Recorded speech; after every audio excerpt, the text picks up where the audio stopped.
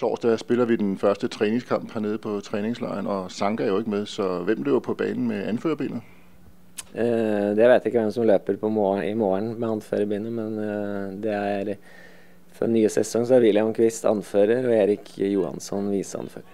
Du kommer simpelthen lige fra frisøren, William. Er det fordi, du er blevet udnævnt til vores nye anfører? Ja, men jeg tænker, at det Lene med så fine hår, han havde, og Sanka hurtigt på Twitter og sådan ting, så må jeg jo få lidt med.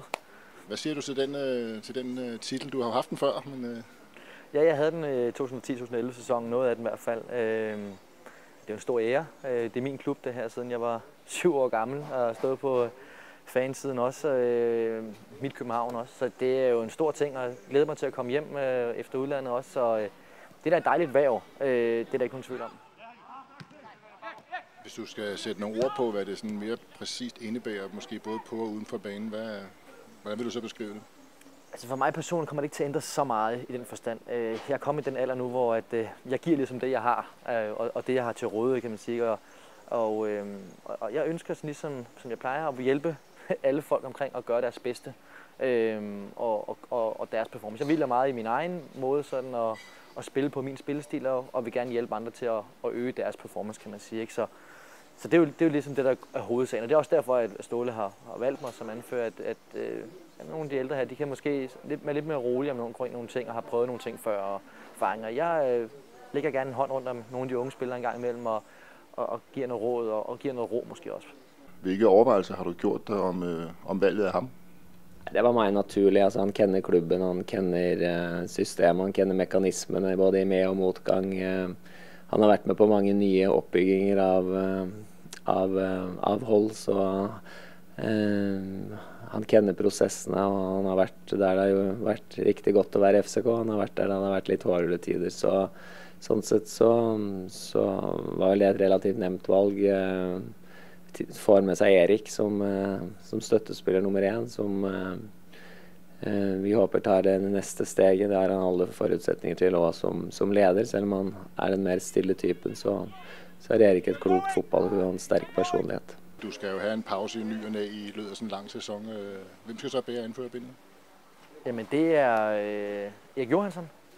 Øh, så vi skal have en svensker som, øh, som viseanfører, og så må vi se, hvor mange kampe mine ben skal stå over øh, nødvendigvis. Eller karantæner, for den sags skyld skal jeg brokke mig noget mere til dommeren, hvis jeg skal efterfølge Sanke også jo. så, øh, så, øh, så det er det. Og øh, rygterne om, at Peter Ankersen havde lagt bud ind på anførerbenet, det har han jo netop selv vist, hvorfor det måske ikke var verdens bedste idé. Nej, altså jeg vil sige, at vi har en ung spiller i Røg her. Han er foran ham i hvert fald på, øh, på, på anførersiden. Your activity going, get your glutes fired up. Nu nævnte du selv i starten, at du skal tage over fra først Delaney og Sanka det er to profiler, der er væk. Corner er væk, Lute er væk, der kommer nye folk ind. Hvad betyder det for den nye anfører? Ja, det er klart, det bliver en, øh, en udfordrende sæson på den måde, at både kvalitet er smuttet, så der, jeg vil komme at have et fokus på selvfølgelig vores spillemæssige kvaliteter.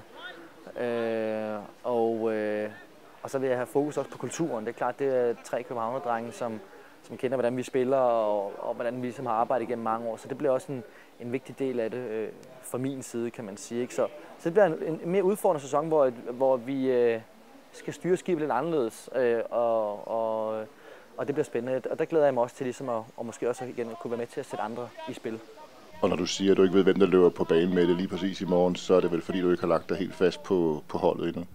Ja, så klart landslagsspillerne, landsholdsspillerne kommer hjem på, fra sin ferie mandag, så vi må kikke på hvem som er klar til å spille. Og under noen omstendigheter så er det ingen av de som nok skal spille særlig mye mer enn 45 minutter. Så, så det blir jo en kamp med mange bytter i morgen.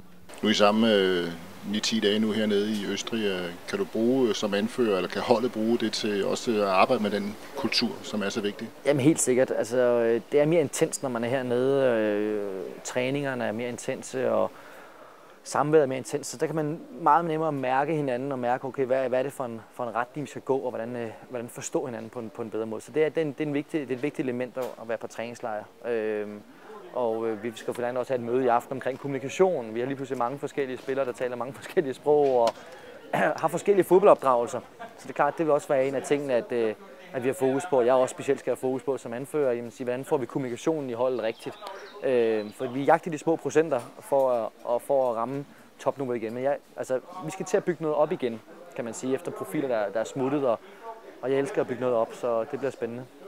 Tak, og held og lykke med vejret. Tak.